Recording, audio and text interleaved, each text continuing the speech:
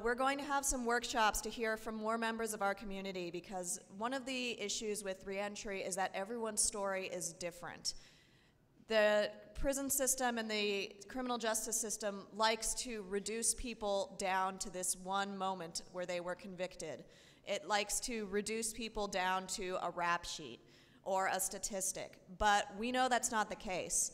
Every person who has a record is a human being with a story and with a family and with people who need them in their lives.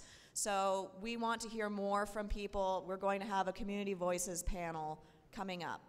So thank you very much, and we're going to move on to the Community Voices panel. I'd like to introduce uh, Watani Stiner again as our moderator, and um, come on up. Welcome, everyone. Um, we're going to try to uh, engage into a dialogue or some kind of conversation, and hopefully we can have, uh, some, well, we will have some questions. So it's a matter of time management. So uh, let me just start off real quickly.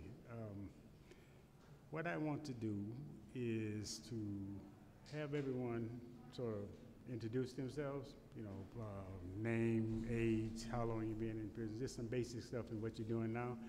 And I have a, a question that I'm gonna pose first so we can get started. So just as a matter of an introduction, you can do a brief introduction, and then I'll give you the first question to move on. So I start with, mhm. My name is Earthy Young. I represent the Gamma Institute. I am the assistant director of the program for the Street Scholars and Pyramid Tour program here at Merritt College. My experiences is I did tw- 26 years in prison, five on parole. I'm off parole now, and uh, pretty much uh, let's bring it. great. I'm Tanasha Stevens. Can you hear me? Okay. My name is Tanasha Stevens. Um, I'm a single mother, been out of prison for 13 years, went to prison for six times, altogether 10 years. That may not seem like a lot, but for me, it was a lifetime. Um, I'm with a program called New Dream at College of Alameda. And um, that's it. It's great. Hi, everybody, and thank you for having us here today and for being with us. My name is Alejandra Landin. Uh, I am 31 years of age. I was involved in the criminal justice system for six and a half years, and I currently uh, have a post as a staff of the Restoring Our Communities Initiative, which is a new program at Laney College, uh, and I am the equity specialist there at Laney. Good Morning, everybody. Come on. My name is Anthony Landers. I'm representing the Underground Berkeley Underground Scholars. Um, I grew up here in the Bay Area. Um, I grew up inside a juvenile hall over here in Alameda County, 150 crew. Um, I spent six years of my life in prison, starting when I was 17. Um, and I'm very excited to be here with y'all today. Great, thank you.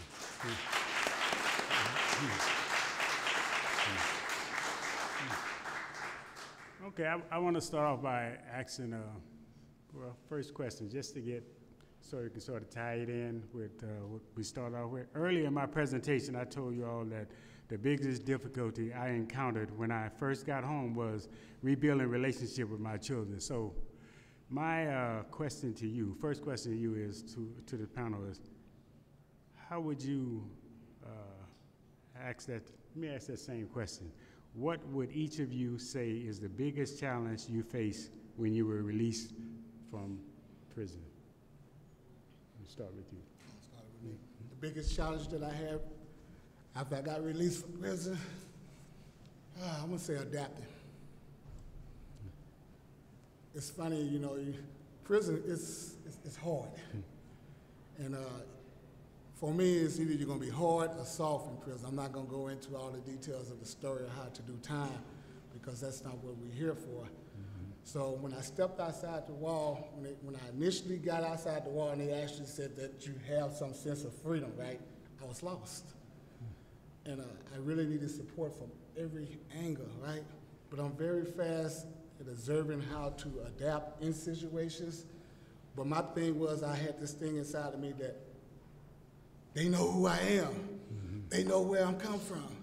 But it wasn't like that. I remember, because they didn't give me no shoes and nothing because I had got released by the courts. So I had like some shoes that didn't have no bottoms on, some raggedy pants, and an old raggedy shirt because they had to get me out of the system. So first thing I wanted to do was kind of like change my character, but they wanted to go into Popeye Chicken, and I didn't want to go in there like that, right? Mm-hmm. And it was like nobody ain't gonna know who you is, and that was the first time I got a sense of I can actually be out here in society and start to adapt it without having that pressure on me. So I had that was the biggest challenge to get that pressure out of myself Great. and realize that ain't nobody concerned with my life, Right.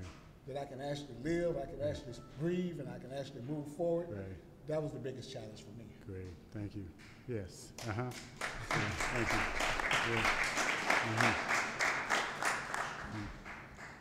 Um, again, I'm a, ma- I'm a parent. So my biggest, biggest challenge was learning how to not be in prison. Learning how to communicate with my children. Learning how to, to, um, I don't know, live life without being locked up. You know, any amount of time you do, you adapt to your environment. And I had to learn how to eat slower. I had to learn how to sleep longer. I had to learn how to, to respect myself more. Because when you're coming out of prison, it, you, you getting released doesn't release all the things that you have learned while being in prison.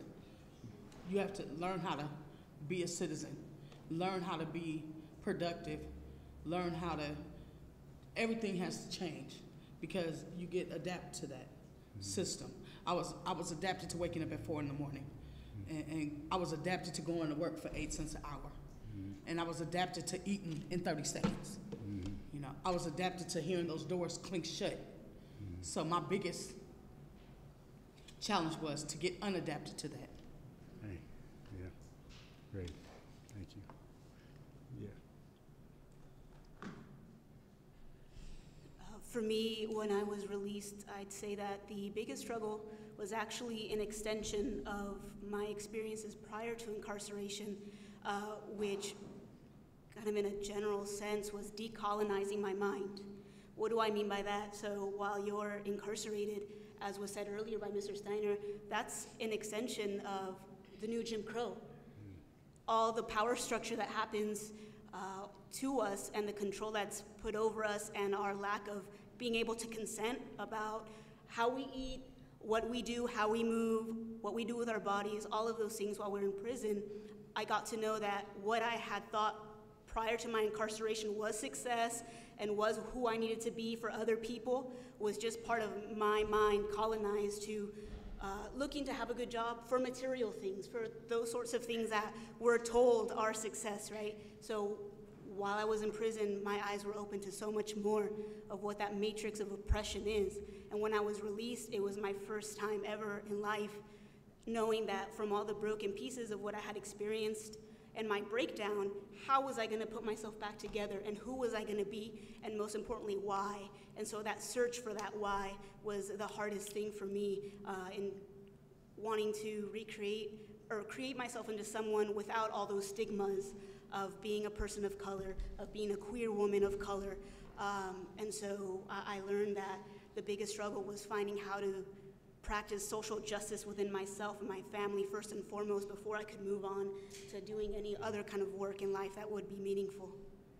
thank you, thank you.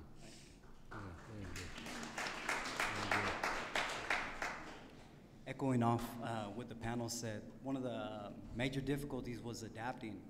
Um, so I came home straight from the SHU, um, and it was a culture shock coming home. Everything was different. Um, and one of my biggest barriers was I wanted to get to higher education, I just didn't know how.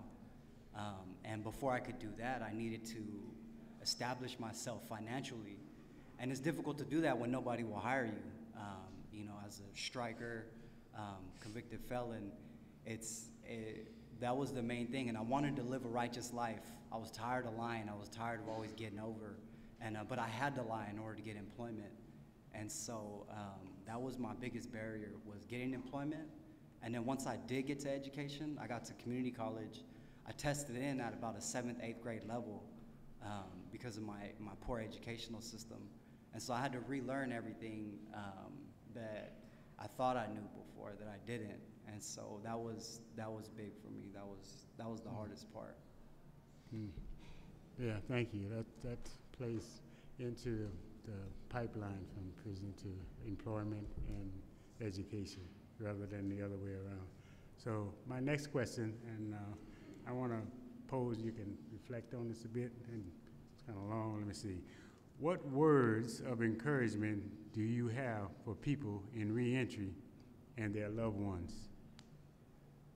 What words of wisdom or lessons that you've learned during your journey can you share as motivation and inspiration for people in reentry?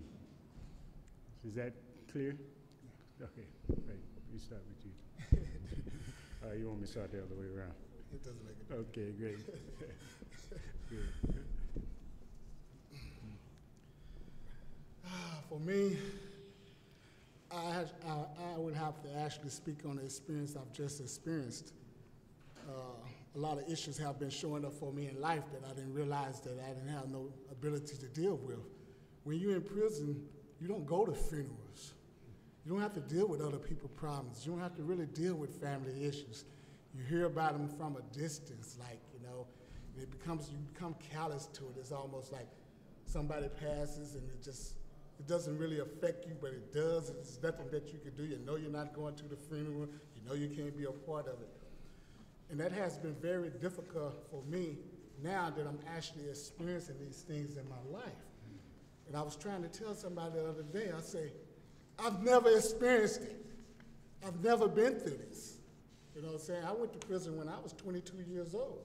I was, I was a hooligan in East Palo Alto on the streets, running wild, thugging out, as they might say these days. But uh, I didn't have no experience. I had never been in an apartment. I had never been married. You know what I'm saying? So all of these different things that people are supposed to learn as they grow through life, I had no ability to deal with. And now that I'm free and I'm actually having to deal with life and be a patriot to my family and to my organization and to my schooling and to myself, it's a lot of responsibility. And it weighs heavy on you, especially when you don't have the ability to really deal with the experience from experience. So I'm just kind of like out there just filling it out as I go. And it gets very complicated. And the reason I say this is because sometimes my battery actually get drained and I need to plug into somebody.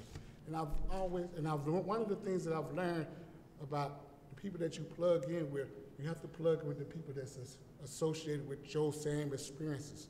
And I've been able to plug in with my own scholars. We've been able to create a unity, that family that still exists from the, from the system. It's a hidden, it's a hidden type of family that we have of communication. It's almost like this thing when you hear them say there's honor amongst convicts. We have a code of ethics that we understand, that we, we, it- you have to live it to understand it. We understand it. And back and forth on them, because they're going through the same issues of trying to adapt. I've only been out here five, five and a half years now, mm-hmm. and it's, it's rough.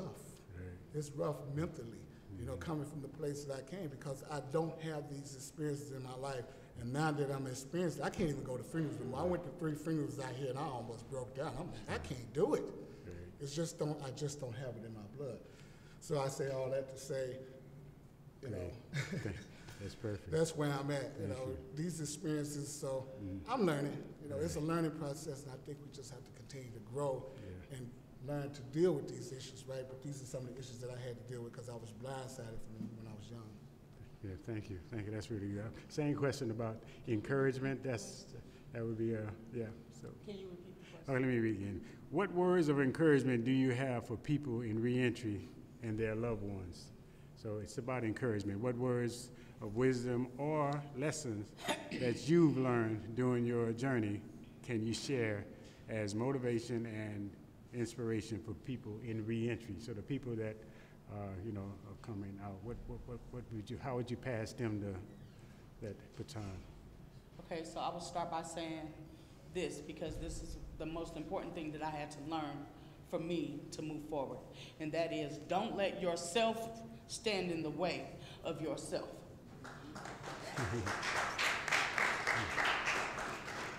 don't let your past determine your future.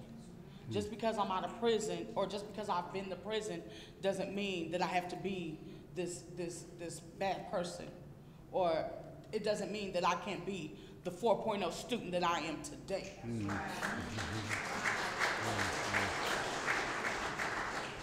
When I first stepped on the campus was the same day I almost stepped off the campus because I felt intimidated.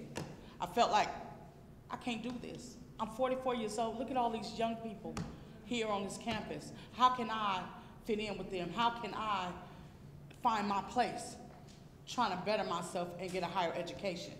How can I show my children that this is the road that they need to take? And that, that question almost caused me to walk off campus because I felt so intimidated. But I didn't let that stop me. I didn't turn off that campus. I stayed on that campus. And I went through the steps that I needed to go through to get to where I am today. So my best advice is, is again, don't let your past determine your future. Because I'm in school right now for my children. I'm a proud mother of a 25 year old, a 23 year old, and a 10 year old. And I beat myself up because I felt like I dropped the ball for my 23 year old and my 25 year old. Hmm. Thank God they're on a positive path, but I can't take the credit for that hmm. because I wasn't there. Hmm. But my 10 year old, I've been there from day one. And he needs to know that achieving a higher education is the only way to go.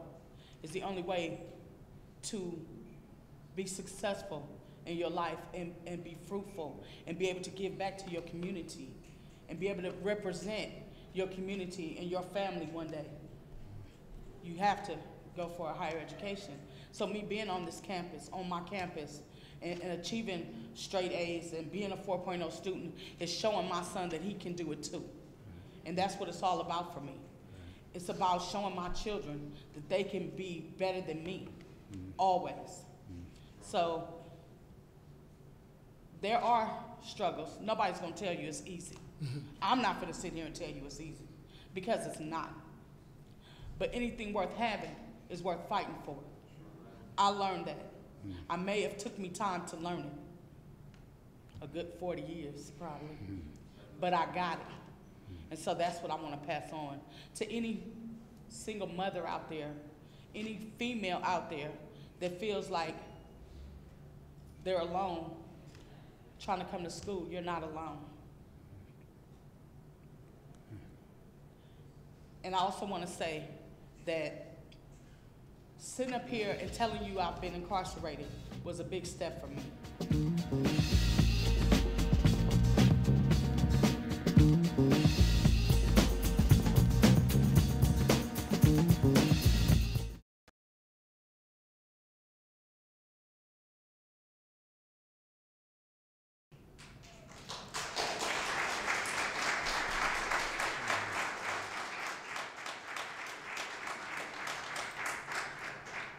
Doing so, I hope that if there's another female out there, another single mother, another mother out there that, that is having these struggles and, and, and feeling like they're alone, you're not alone.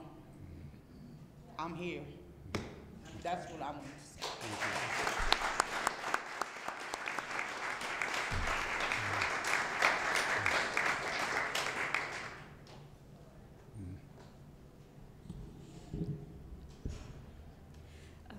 So in terms of words of encouragement and support that I would provide, not only the person themselves who was incarcerated physically, but also their families who also do time with us, right, when we're incarcerated. Um, I'd say the most important thing is, again, like I said earlier, that social justice and that healing, for me, has proven to be so essential to begin at home, right? The t-shirt I have on today, you may not be able to see it, but it says Beyond the Bars. And I received that at a conference I went to, and the reason I'm pointing that out is because the question that was just posed made me really think about the fact that there are many ways of being incarcerated, not just behind physical bars. At home, our families are incarcerated with the stigma of certain things that we think uh, are sources of shame that we shouldn't talk about uh, within our families or within uh, society you know, at large. Uh, and so that, that is one of the most important things that I would uh, encourage families uh, to talk about when a person comes back to their community is those things within the family that have been something that they couldn't talk about. Sources that, you know, at home, there was a saying that, you know, de eso no se habla, which translates to, oh, you don't talk about that. That's just an issue we don't talk about, right? But silence is violence as well. And so that would be first and foremost for the family. Uh, what I would encourage them to do is go home. You know, sunlight is the best disinfectant, I was once told. So talk about those things. And, you know, that can be a point of launching off uh, for everyone in the family, in particular the person who's been incarcerated, to be able to recognize in themselves that they do have the potential and you know, to be an extraordinary uh, human in all aspects, right? Because being a person who's been incarcerated is just, is just part of our humanity. Um, and while we're incarcerated, and also from the communities we come from of color, right? Our resources, our right to our basic resources is denied. Uh, and, and that's another way in which our ability to consent about our life decisions is taken from us right away, just by virtue of where we grew up, what family we were born to, and the system that has divested our own basic resources from us. Uh, so, uh, another point that I would uh, tell uh, a family uh, concerning support and encouragement is that the word empowerment is something that we don't need to ask permission to have. I hear the word empowerment a lot, and sometimes I shy away from the word or I have trepidation toward the word because who is giving you that empowerment, right? To me, that can sometimes be still a point of oppression or a system over you process where unless someone gives you empowerment, then does that mean you aren't capable of having it for yourself? And I say no. It's more a matter of people get out of my way. uh, you know, we, we have the power within ourselves to create spaces of support for each other. Um, because as I was once told, if we're not at the table, then we're on the menu. And as people of color, that's something that historically has been happening to us from millennia in, in this country for centuries, since before the colonies became what we now know as the United States. Uh, so those are the points that I would really um, use to really, you know, guide families uh, and to tell them that your plans to invite them to think of their plans not as a map, right? Because a lot of things happen through us, to us throughout our lives. And so if it's not on the map, you know, what happens then, right? If you only had plan A. So to think of it more as a compass, right? And as Earthy and as everyone up here has said, you know, when you find people who are supportive and who are willing to disclose to you as well, really hone in on those resources and uh, be each other's social capital, right? Because that, that has a lot more power than money to be each other's social capital and that resource that, um, you know, is usually denied from us. But once we're here, especially in higher education, which has also been historically denied from us, and we become the gatekeepers, then, you know, there's really no stopping us. Thank you, thank you.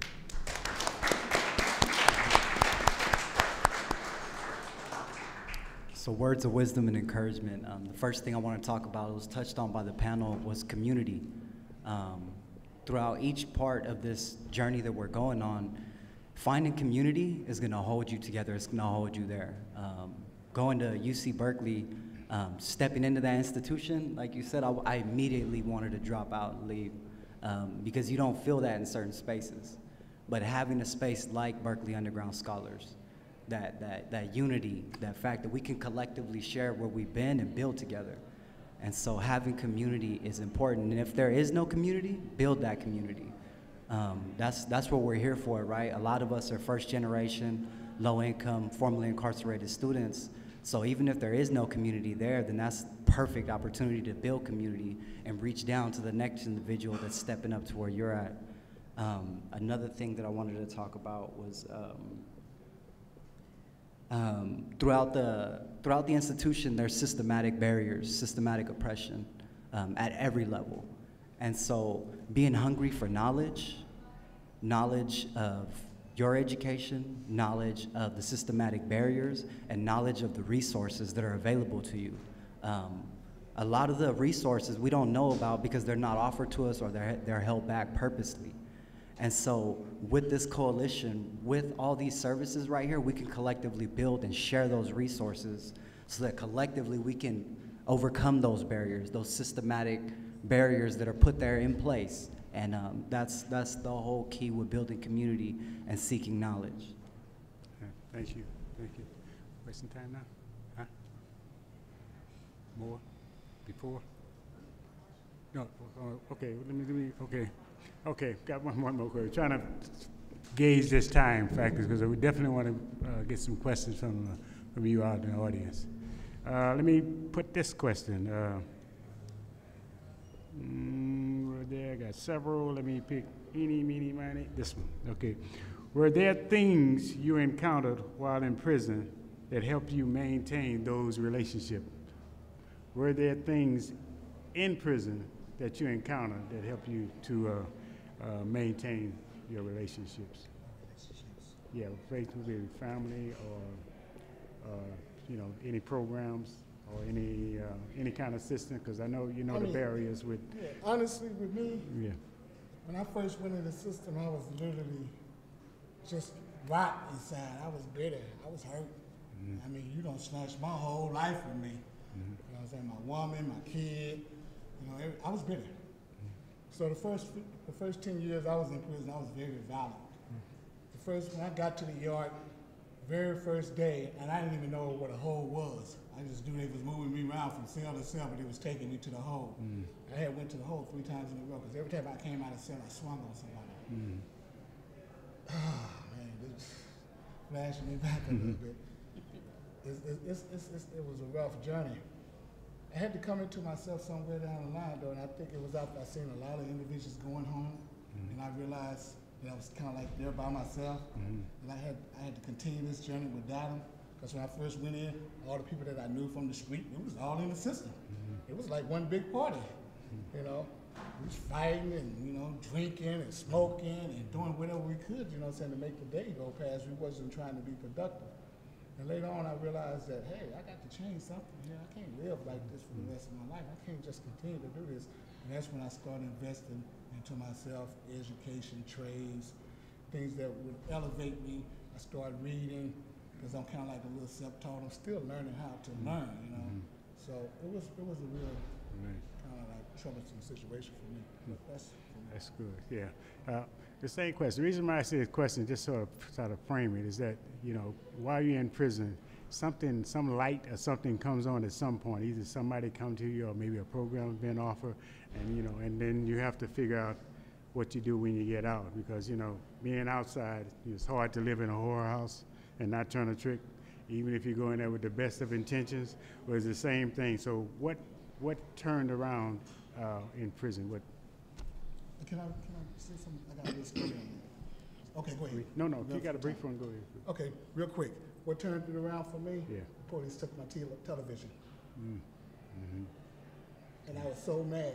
that I, oh, I said, I said the COs had took my, it was a floated television. Somebody let you borrow a television. It wasn't mine. They took it out of my cell. And I literally went mad. You took my television. You know what I'm saying? And I was so frustrated in that cell, I literally had got to the point I had stripped down completely butt naked in the cell. And I'm standing in the cell mad, just frustrated. And I said, What is it that I have in here? And I realized I didn't have nothing in there because I didn't come in with nothing. When I came through the door, they stripped me down butt naked. I said, Well, what is I'm going to get up out of this? And then it just clicked on me. I say, Anything I take out of prison that's going to be mine is right here because they don't have no control of it. Okay, great, great.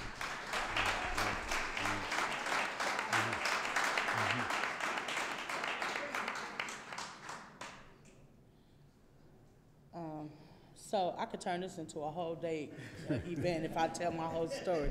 So I'm gonna try and break it down for you. I'm sitting in prison. I'm sitting in county jail, and everyone tells me, "You gotta find the baddest person in prison and beat them up, and you ain't gonna have no problems." Because I'm scared to death of going to prison. So I did just that. I ran into this lifer, and we were playing racquetball, and she started calling me fat this and fat that, and I, I told her if she did it again, I was gonna hit her, and I hit her with the racket in my hand. So I gave her 56 stitches right here. So I went to the hole for the remainder of my three years I spent in the hole. Well, it was the hole inside the hole because I was in shoot. And during that time, um, I had already told myself that I was cutting myself off from the streets because I was being selfish. I didn't want, I didn't want nothing to do with the streets. I didn't want my, I didn't want no letters from home. I didn't want no phone calls. I needed to do my time, and I couldn't make it hard on myself by wishing I was on the streets or knowing what's going on on the streets and stressing more. So I was selfish with my time. I did my time by myself. Until one day my mother came to see me. At this time, I was six months to the gate, being paroled. I was six months from being paroled, and I was finally let out of SHU. So I was back on the main yard, and my mother came to see me, and I, re- I rejected her visit. And she sent the COs back, and she kept calling to have me come up there, and I refused to go. And the third time, the CO came to me, and she said, "What's wrong with you? That's your mother." And I said, "Ann, it ain't your mother, so stay out of my business. Let me back in my room." She locked me back in my room, and something heavy just got on my heart. And I went in the shower, and I put a, a, a towel down, and I started praying to my higher to my higher power. And I asked him to open my heart and to, and, and, and, to give me understanding of why I'm here. Why am I rejecting my mother? Why am I hurting myself more? I'm already in prison. I, everything has been taken from me. Why, why am I not allowing myself to visit my mother? And something happened. I was 19 years old. And something happened. I felt like I can't spend the rest of my life in prison. And I'm gonna need help when I get out of prison. So I went to that visit and I seen my mother, and my mother let me know that she still loved me, no matter that I was locked up, no matter that I had gotten myself in trouble and been incarcerated, that she still loved me, and when I came home, she would be there for me. It took me five more times of going to prison to actually believe that. But during the time I was in prison, I, I wanted to better myself. At least I thought I did.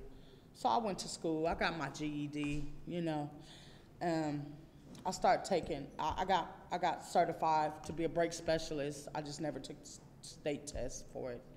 Um, and I did office services. I went through all the programs, learned all the computer programs. You know, but that wasn't what I wanted to do. But I was doing something with my time. And then I, I realized that I have children who are doing this time with me. And so the last time I was in prison, I, I realized I can't come back to prison. Because if I come back one more time, my kids will come back too. And when I realized that, I woke up. I said, no more of this. I deserve better than this. My children deserve better than this. That's what woke me up. So it's a number of things, but the main thing that woke me up was my children. My children did not deserve to be locked up with me or to one day be locked up on their own. My children deserve better than that. I deserve better than that. You deserve better than that. So that's what woke me up.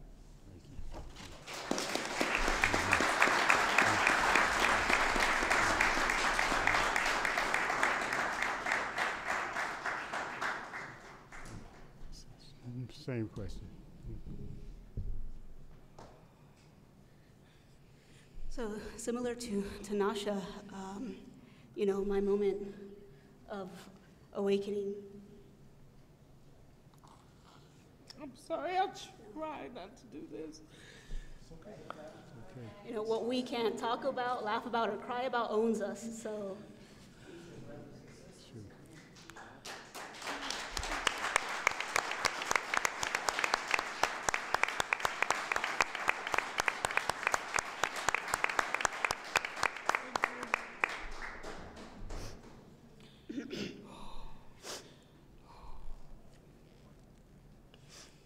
excuse me. Uh, so similar to Tanasha, my moment of awakening happened in the SHU when I had no one left to fight but myself. And all those psycho-emotional, you know, some people may call them demons, afflictions, what have you, that, you know, the stories that I was buying into about who I had to be or who I should be, right? Um, and so it took me stop to, it took me no longer shooting all over myself and over other people to really question my motivations and one, why I was there, what had led me to be in trouble while I was already in trouble, and you know, not being able to take a visit or to have some of the things that I had come to, you know, um, wake up for every day and, and be grateful for, because from a from a friend that uh, unfortunately I no longer see. Some of the words that he used to say that really stick with me. He was asked once, you know, what was the worst thing about being in prison, and he said, "Every day waking up and you're still in prison." And so remembering that and really having to keep it re- real with myself and, you know, again, that, that fight that was happening within me until I was able to actually be honest with myself and ask myself really hard questions that were really uncomfortable. Not until that happened was I able to have an honest conversation with my family, an honest conversation with myself about how I even ended up there in the first place. Um, and it wasn't an overnight thing, right? You know, it's things that happen over time that uh, fly under the radar. Uh, and so having to wi- will myself with, with discipline to really think about those things. And, you know, having been in, in the SHU, I had nothing else to do but that. I had no books to read. I had nothing. After you count every brick you can, there's something else that you can do with your time if you want to. Um, and, you know, it, it's hard that it has to be sometimes to those extremes that uh, you know a person is is taken to to reach that but you know we reached it and that's a testament to our strength and resilience and our humanity um, that given your environment you know any person who is in a really great space if that space is changed to a space like the ones we've lived in and had to experience, and they would probably find themselves also having to make those kinds of choices as a matter of survival. So that, that moment of awakening was really having to start to be real with myself about a lot of hard things that I had wanted to forget and, and keep quiet. Thank you. What turned it around for me was um, after, after about 20 years, finally having a real dialogue with my father. Um, growing up, my mother raised me and my two older brothers uh, my whole life. And so my father, he was in and out of prison. Um, he, had a, um, he had a drug problem. And um, I never really cared to know him because he wasn't really there. And um, seeing him abuse my mother as well um, made him my enemy. And um, my mother being my best friend, I would see the things she would go through. And through, I remember there was a point in time where she would visit me in the SHU on Sundays, visit my, my oldest brother in Solano State Prison on Saturdays, and then my brother Drew in county on Wednesdays. Um, and this was a weekly thing. And um, when he came, he came through, and those visits can be long. It, it could be three hours, especially if you don't know the individual. And so um, I remember when he first applied to come see me, uh, I didn't know how to take that. And, um, and so I accepted it. I filled out all the paperwork, and um, it was really transformative because at that moment in time, we got to really sit down and lay the cards out, and it helped me understand where he's coming from, and so that he can understand where I'm coming from. And to not look at this man as my enemy, but to see him as my father. And that, that was transformative for me, and that allowed me to open my eyes and, and really listen to this man's wisdom. Um, and, and that changed everything for me. And, and you know, when I came home, um, I, I, I had a place to stay now because before, prior to my release, I didn't have nowhere to go. And so we, we got to build a whole relationship after 20 years of just not even wanting to get to know each other. One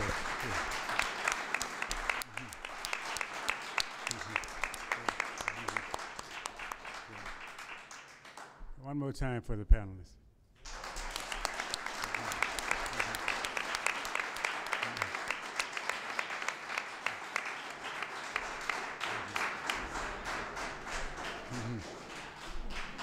Okay, now, now I want to try to, I want to invite the audience to gather your thoughts and pose some questions to the panelists.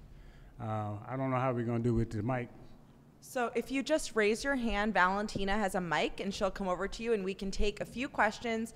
And then if for some reason your question doesn't get answered, of course, feel free to talk to the panelists afterwards since we're trying to keep time. But we really encourage anyone who has a question, please speak up and Valentina will pass you the mic.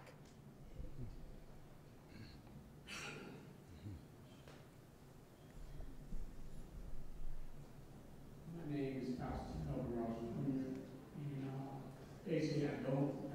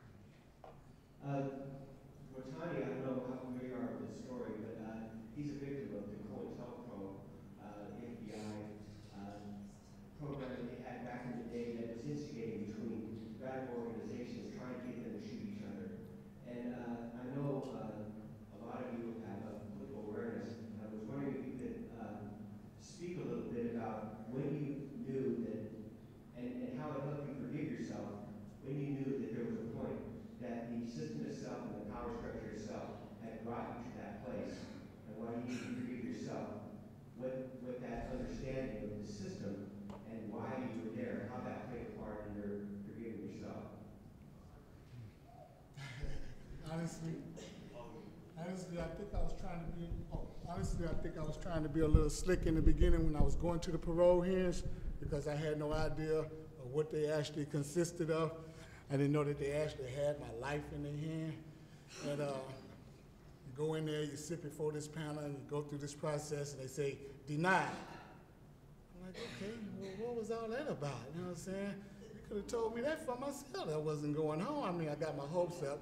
And like you said, you went 20 sometimes. I think I went like about, what was it, 14, 15 times to the parole board. And it just became routine. It was like, I just have to go. I got a definitely go to the parole board. But I started tuning in to the political atmosphere that was going on in the system and started paying attention to why was I in this position. I was actually growing in the position, maturing, hmm. and I started realizing that it was by design hmm. for me as an African American to why I was in this position that I was. I'm not saying that I don't take responsibilities for my consequences. I definitely have remorse for that. But when I played the cards back and looking at the historical values of my own ancestors, like their struggle to where I'm at, and I'm like, okay, basically I'm just still sitting on the plantation. You know what I'm saying? So I have to be a little more smart and a little more slicker as a black man on how to maneuver in this society. So I had to learn the undercurrent of the political atmosphere for myself and with my own peers so we could survive on a different level. I guess for me, um, when I gave birth to my first child, I knew that I didn't want my child to be caught up like I was caught up. So I had to learn so that I could teach my child. I had to learn how the system really worked so that I can teach my children, my child at that time, how to maneuver through it and not get caught up in it. So for me, I don't know if you know this yet, but everything I do is about my children today. Everything. Every day I wake up and set foot on campus. Every day I wake up and breathe. Everything I do is for my children. So they're the root of all my aspirations, all my dreams, all my um, goals, all my accomplishments. They're the root of all of that.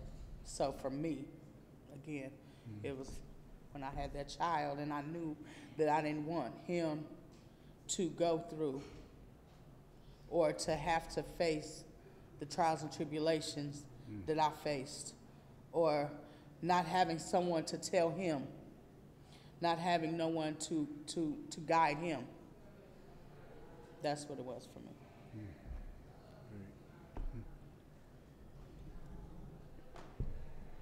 that moment for me uh, happened after uh, several times hearing, especially when I got out, uh, some of my uh, friends would say how square I presented, you know, like a, a, a square. Uh, you know, I had long hair, etc. And I was really trying to still play a part, you know, the part that I thought I needed to play. So I would hear again and again from people, oh, you don't look like someone who's been to prison. And that's when I realized so, what you are telling me is that there is someone who looks like they ought to be, and prison is designed for. And that's when I realized that as woke as I, as I thought I had become because of my personal lived experience, that was merely the beginning and that it was not enough to just settle for a trail of you know breadcrumbs that i thought were all the answers to uh, the things that i had experienced and witnessed other people experience while incarcerated that it was my responsibility to learn and research about people who do not look anything like me, who don't speak my first language. Uh, otherwise, I, I, came to see that I would be no better than the people I thought were so privileged that were just seeing the world through a keyhole. So I made that my, my responsibility to use education uh, uh, not as a point or a source of pretension, which is what I had always thought it to be, but I wanted to be there. I, I really wanted to get through those gates uh, so I could say I had made it and now I had really I had to critique my motivations for coming back to school and what I was going to do with my higher education uh, and, and what kind of space I was going to create, not, not just for myself, because that's not enough, but for creating space with other persons who um, were throughout their lives denied that basic human right of education and information because unless you have all the information that's possibly available to you, then you're not truly having consent over your life choices. Yeah, when I first started learning about um, COINTELPRO, um, as well as the RICO Act, um, gang injunctions, gang enhancements, um, that was in community college. And then now at UC Berkeley, it's still the same, still learning, still digging deeper. Um, but I was, I was enraged. I was, I was infuriated because um, as formerly incarcerated, um, we see the systems in play, yet we don't know too much about them because it's often written in an ivory tower approach. Um, a lot of the research that we see um, don't have our point of views involved. Um, and so I've just dedicated my whole educational journey to deconstructing the whole incarceral state, um, and then teaching other folks too, um, because it, it's it's still it's still infuriating, but it's a positive um, it's a positive anger, something I can direct it towards um, positively, to expose it for what it is, and have real dialogue and real discussion on how to deconstruct that. I just want to just weigh in just briefly on that COINTELPRO. That sort of sends out bells to me. I consider myself a COINTELPRO survivor, and uh, the reason I say that is I could say that I'm a political prisoner because I was wrongly uh, convicted, but that would sort of I mean, once you're out of prison, that means what you're a former political prisoner, ex-political prisoner. So I say COINTELPRO survivor because that includes the whole context of what happened, the system that was in place that brought me to prison. Not just me, but other people to prison and sent them to exile and some being killed. So I say that. But one thing I want to point out that when I left prison in 1974, there was only six prisons in the state of California. When I came back, there was 33. There was 40,000, you know, people even on parole in Cal. To my California, I come back it's over almost 200,000. So this to me was was it was mind blowing to me coming back into into this structure, how, how it's been developed. The, uh, the hold I was in was not nearly as developed, but they master how to uh, uh, make solitary confinement a work of, of art. And the first time when I came back to prison, I've seen fathers and sons in the prison, fathers and sons. And, and if you have a conversation with you'll find that those sons were chasing their fathers, and the first time they see them was in prison. That clearly tells you there, there was a design, there's a structure that was in place. The solution is just like the problem. It has both a political, a personal, and a social dimension to it, and it requires transformation on both levels.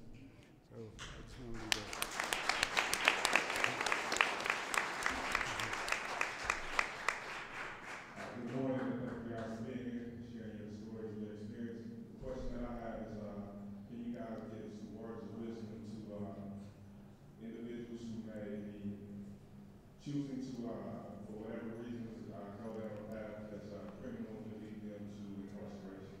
Uh, and, you know, for, just trying to survive, provide, take care of their families, and because of lack of opportunities, uh, choose the things that are, quote, quote, that will bring, uh, words of wisdom for that population society. My words of wisdom are every individual needs to stand up on their own spinal cord. Can you hear me? Yeah, must be, uh, yeah, you want this one? Hello? My words of wisdoms are every individual needs to be able to stand up on their own spinal cord. And the reason I say that is a lot of times we get influenced by those peers out here in society and the things that's going on, and we have that support. But once you go to prison, you don't have that no more. You by yourself. And there's going to be a time where you're going to have to stand up and make your own decisions. Even though you can come in prison, you can fall in line with everybody else, you can get into that routine, you know, and be that little token. But until you stand up on your own spinal cord, until you take responsibility for your own decisions and you're comfortable with making that, and you can live with that, then you'll be okay. And I think you got to start doing that now because life shows up for everybody in weird ways.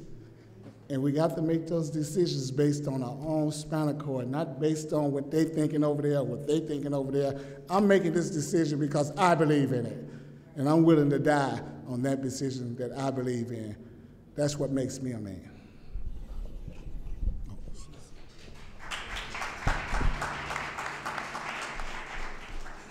My advice is simple. Don't do it. Just don't do it. If you think the road to getting a better education is hard, try going to prison and then try and get an education while in prison, and you'll see just how hard it is. So, my advice is simple just don't do it.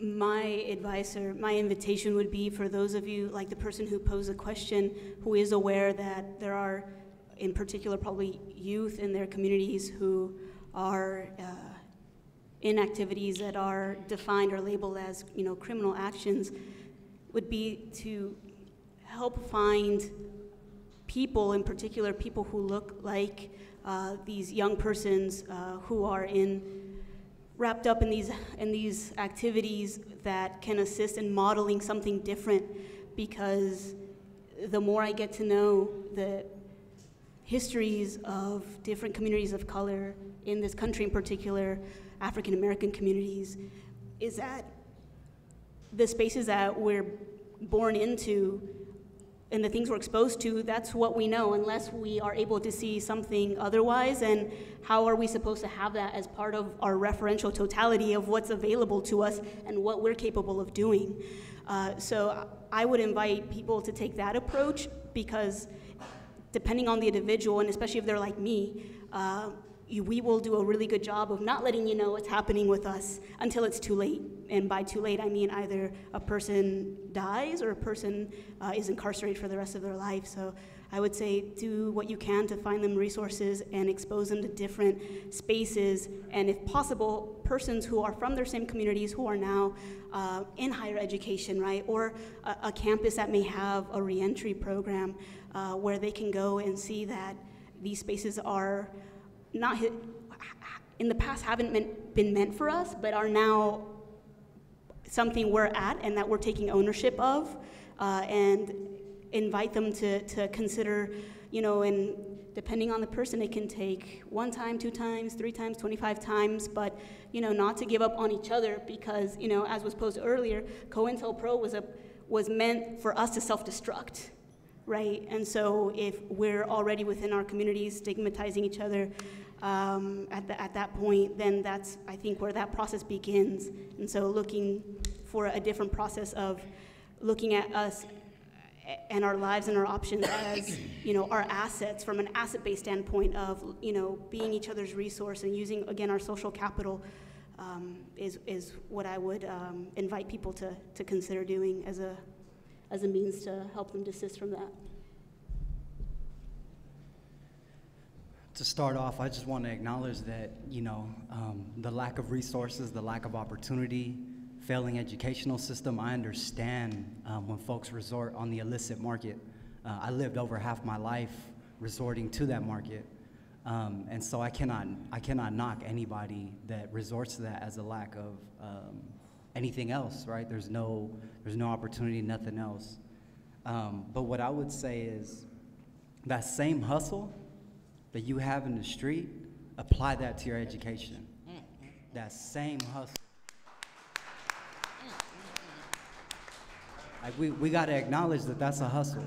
And, and this educational hustle is the same thing. You got to be hungry, you got to get out there and get it.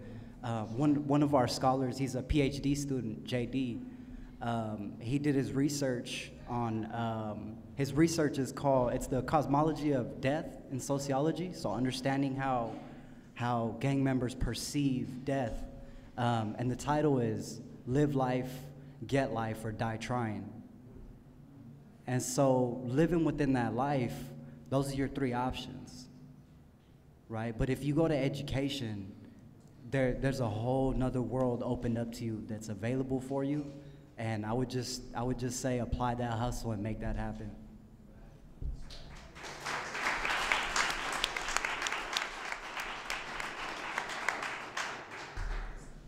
Okay, so can we please give a huge round of applause to the panel?